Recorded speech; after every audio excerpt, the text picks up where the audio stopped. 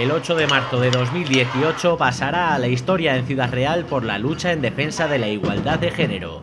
Miles de personas de todas las edades y condición se han manifestado por las calles de Ciudad Real en este Día Internacional de la Mujer, con pancartas, cánticos, megáfonos, silbatos, cacerolas y el color violeta como protagonista, la sociedad ha reclamado en este día la igualdad entre hombres y mujeres en todos los aspectos de la vida.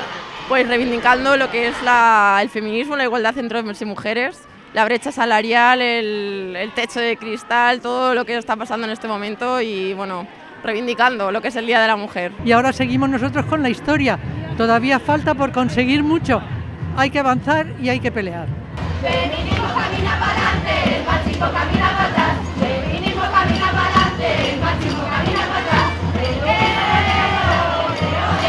manifestación ha salido a las 7 y media de la tarde desde la Plaza Constitución para pasar por las calles más céntricas de Ciudad Real y finalizar en la Plaza Cervantes, en los aledaños de la subdelegación de gobierno. Estoy aquí manifestándome por todas las mujeres porque creo que un día como este tenemos que salir todo el mundo a la calle. Esto no se trata ni de hombres ni de mujeres, se trata de conseguir la igualdad para todos y para todas.